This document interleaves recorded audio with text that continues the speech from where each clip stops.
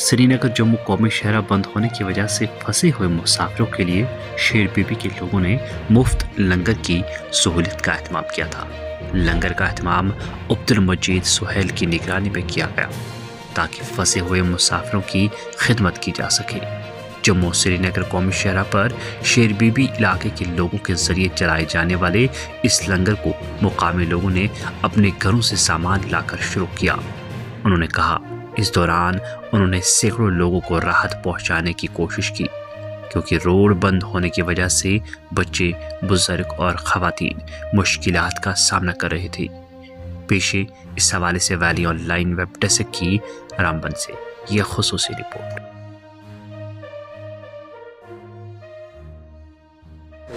असलकुम मेरा नाम जी अब्दुल मजीद सोहेल है। मैं इधर ही रहता हूँ इस गाँव में। हाला में रहता हूँ, हाला शेर बीबी ये लंगर जो है, ये हमने खुद किया है हमारे गाँव वालों ने और हमने, और गाँव वालों ने थोड़ी मेरी सपोर्ट की। मैंने शाम को इनको फ़ोन किया, इनने सपोर्ट की मेरी तो फिर उसके वजह से पूरे गाँव वाले आए।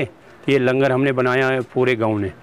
और इसमें कोई नहीं है, कोई बाहर का नहीं है, कोई एडमिशन नहीं है कि जो हमें खर्चा देगी, कुछ हमने खुद किया अपने जेब से। क्या किया, क्या नहीं किया उसलिए हमने लंगर बनाया। शाम को भी तकरीबन साढ़े नौ बजे हमें कुछ ख्याल आया। साढ़े नौ बजे के बाद हमने किया थोड़ा बहुत। जो बनाया हुआ था घरों में, वो लाया तकरीबन दो ढाई सौ लोग को शाम को भी दिया।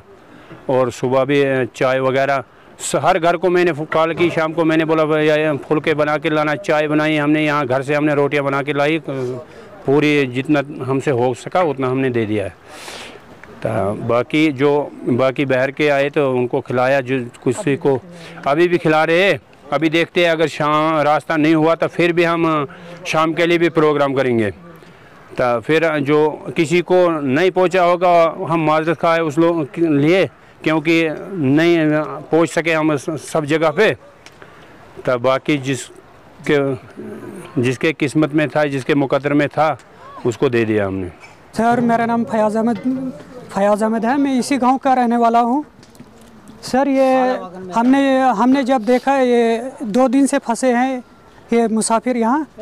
तो हमने हमने सोचा कि बेहतर सोचा कि यहाँ बच्चे थे बूढ़े थे कुछ ड्राइवर ड्राइवर हजरात थे हमारे माए बहनें थी जो फंसी थी तो हमने यही मुनासिब समझा कि हम मजीद साहब ने हमें कॉल की तो हम हमने सुबह चाय चाय लाई रोटी बनाई है वो यहाँ से सारा कुछ फिर हमने सुबह से ये शुरू कर दिया।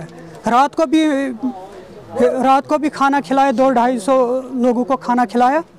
तो हमें यहाँ सर परेशानी ये होती है, अगर हमें हमें यहाँ कोई शेड वेड कहीं होता तो हम शेड में बनाते और पैसेंजर भी जो उनका आमदो रफ्त रहता है तो पैदल जिनका आमदो रफ्त रहता है तो वो भी आराम से खाते।